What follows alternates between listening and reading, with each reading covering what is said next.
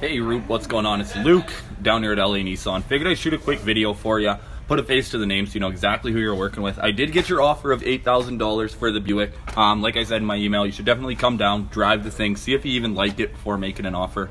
Um, we are open all weekend. You can reach me here at the store if you have any questions at 780 769 0060. That Buick is just going through our inspection process as well, so anything the vehicle needs will be all done for you for the weekend.